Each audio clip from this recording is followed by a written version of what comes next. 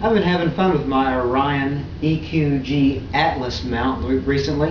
My wife made a great suggestion when I was having problems controlling it. She said, why don't you make your Wii controller make it go? I thought that was a great idea. So as you can see, I have EQ mod uh, set up on my laptop computer connected through a USB to serial cable to my Atlas EQG and I am controlling it uh, from software that I found on wiili.org. That's W-I-I-L-I.org. So I can control the Atlas mount just by tilting the Wii controller, just like this. Or I can go up.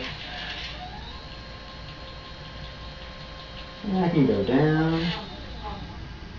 I have it set up right now that when I'm holding in the trigger button, it, that's whenever the mount will move, such that if the controller is just dangling around, it won't move unless the trigger's held.